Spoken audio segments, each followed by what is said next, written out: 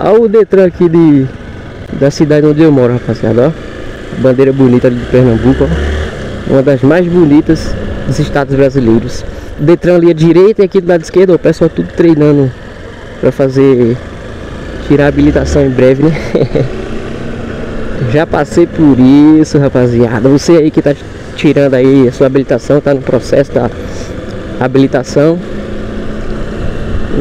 Você tem que trabalhar muito seu psicológico, sobretudo na prova prática.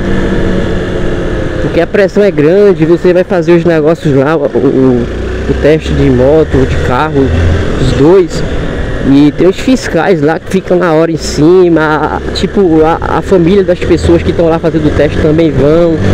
Aí você fica com aquela pressão de, de estar sendo supervisionado. Aí se você não tiver um controle emocional ali bom, saudável, você acaba caindo por besteira.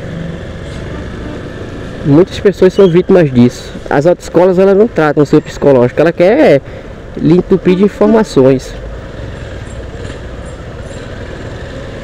E eu vejo que eles pecam bastante nisso, na inteligência, na informação emocional. Tem que trabalhar isso nos alunos.